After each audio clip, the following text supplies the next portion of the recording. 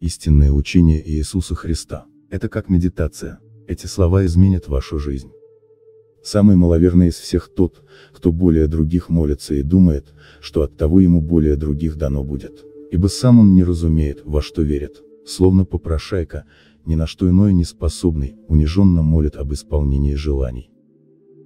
Что клянчишь ты у Бога, или думаешь, ошибся он, послав тебе то, что имеешь, и поучать его хочешь, как ошибку ту исправить должно, то значит неразумен твой Бог, по что его тогда Богом называешь, Зачем в него веришь и молишься ему зачем? Сам ты не знаешь, чему кланяешься. И мало в тебе веры истинной. Говорю же тебе, что быть маловерным хуже, чем не верить вовсе. Ибо Бога отрицая, к Богу придешь. Кого слушаешь и кому поклоняться ходишь ты в храм? И кто самые почитаемые люди в нем? Книжники, фарисей, первосвященники. Все, сколько их не приходило предо мною, суть воры и разбойники и хуже того. Ибо не хлеб и не золото твои крадут, но саму жизнь твою устами своими и языком чтут Бога, сердце же их далеко от Него отстоит, и уподобляются окрашенным гробам, которые снаружи кажутся красивыми, а внутри полны костей мертвых и всякой нечистоты, и затворяют те лицемеры Царство Небесное человеком, ибо сами в него не входят и хотящих войти не допускают, и любят, чтобы люди называли их «учитель». «Учитель», а ты не называя их учителями. Они слепые вожди слепых, а если слепой введет слепого, то оба упадут в яму и веками скрывают они ключи от истинных знаний подменяют их полуправдой, которую наряжают в одежды истины, а того она опаснее и страшнее, чем ложь.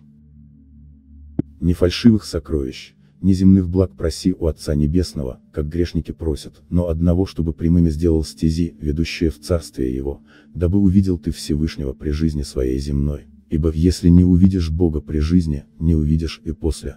Не Бога пытайся увидеть, но божественность. Божественность, в которой Он себя проявляет во всем сущем, божественность, которой наполнено все мироздание. Не нужен человеку храм рукотворный, чтобы говорить с Богом, ибо дом Всевышнего, вся земля и небо, и звезды и все человеки. Молиться о душе бессмысленно, никто душу твою не спасет, если сам о себе не позаботишься. И Царствие Божие никто не принесет и не даст тебе, если сам его не отыщешь. То небо, о котором говорю, внутри каждого и вне каждого, и Царствие Божие в этом небе и никаком другом. И далеко за ним идти не требуется и не скажут, вот, оно здесь, или вот там. Ибо Царствие Божие внутрь каждого есть. Горе тому, кто границы на земле учиняет и людей разделяет.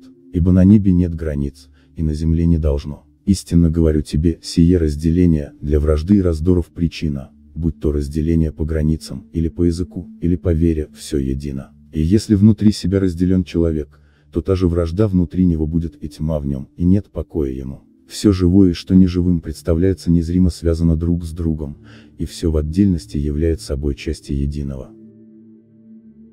Не бойся заблудиться, когда будешь искать свой путь, лишь самые сильные способны на это. И тех, кто ушел из стада, пастырь любит более других, ибо только им дано найти заветную дорогу. Нет вины скота в том, что он в загоне находится, ибо загон тот хозяин для него выстроил.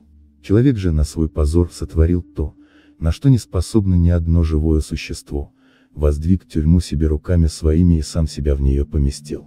И горе, что дети его рождаются в этой тюрьме. Они взрослеют и не знают другой жизни, кроме жизни отцов своих, и после видеть ее не могут, ибо слепы стали глаза их от мрака заточения. И не видят они никого, что кто бы жил по-другому, а потому считают, что их жизнь – единственный возможный способ существования. Ибо если глаза никогда не видели света, то как узнаешь, что ты во мраке? И люди изо всех сил пытаются украсить свою тюрьму, кто дорогим убранством, кто красивой рабыней. Но нет от этого никакой пользы, из тюрьмы надо выйти. Должно тебе прежде познать себя. Когда ты познаешь себя, тогда ты будешь познан и принят Всевышним, и ты узнаешь, что ты, сын Отца Живого.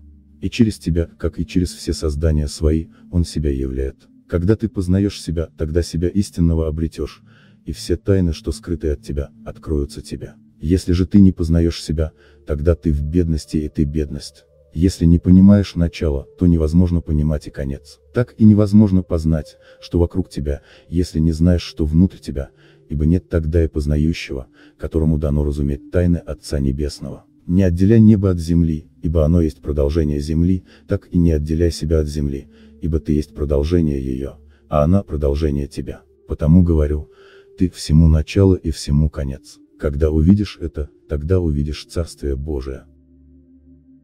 Не только верить, но проверить все на себе, обрести и познать, вот к чему призываю. А в то, что познал, верить уже нет необходимости. Есть некоторые, кто не вкусят смерти, как уже увидит Царствие Божие. Заповеди даются для тех, которые слухом слышат, и не разумеют, глазами смотрят, и не видят. Ибо исполнение закона не может животворить, не приносит благодати и не делает праведником. На это способна только истинная вера, действующая любовью. Ученик для чего же тогда дан закон? Христос, он дан для маловерных, в которых не вмещается Слово Божие, дабы уберечь их от преступлений, покуда не обретут истинного разумения. Если не любишь ближнего, но говоришь, что любишь Всевышнего, ты лжешь, в лице Отца Твоего Небесного возлюби самую жизнь, как великий дар от Него, возлюби всем сущим в тебе от края и до края. Возлюбить ближнего значит то возлюбить всякое творение Божие всем сердцем без лукавства. Если не любишь ближнего, но говоришь, что любишь Всевышнего, ты лжешь, будь ты даже первым праведником на свете и живи по закону Божьему, и языком говори ангельским, и имей всякое познание и всю веру, но если при этом любви не имеешь и таишь в сердце злобу, пусть даже к червяку ничтожному, то ты лишь медь звенящая, и нет в том никакой пользы твоей душе. Стать любовью, значит стать равным Богу, значит Богом стать, ибо любовь и есть Бог, и нет другой дороги в Царствие Его. Человеком это невозможно, Богу же все возможно. Если любовь в тебе будет, то и Бог в тебе будет и ты как Бог будешь. Свет, что внутри тебя, дорогу тебе укажет, любовь истинная, что в сердце твоем поселится, сама откроет нужную дверь. Любовь совершенная и Дух Святой приходят вместе, ибо они едино. Жизнь человека не зависит от изобилия его имения. Ты же заботишься и суетишься о многом, а одно только нужно душе твоей, чтобы Слово Божие будто семя укоренилось в тебе и плод свой принесло.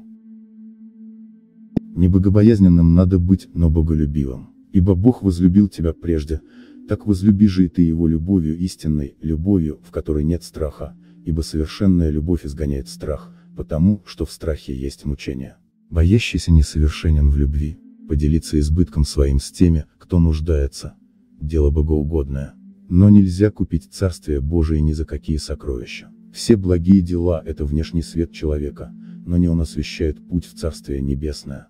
Но есть свет внутри человека света, и он освещает весь мир. Если он не освещает, то тьма. И даже если раздашь ты все, что имеешь, и тело отдашь на сожжение, но любовь не будет освещать деяния ваши, не будет вам от того никакой пользы. Кто имеет все, нуждаясь в самом себе, не имеет ничего. Все открыто перед небом, не лги, что не от сердца твоего исходит, не делай этого. Если истинную силу имеешь, то покинут твою душу земные желания и страсти, коими она, словно безумная, кипела доселе, и вместе с ними уйдут ложные знания и суждения, и пусто в душе твоей станет, но наполнится она чистотой и светом. Глупец тот, кто сомнений не имеет. Будь же чист, как голубь, и мудр, как змей. Свет, что спасет тебя, сам внутри тебя отыщешь. И даже если страницы Евангелия утеряны будут, их можно восстановить из сердца.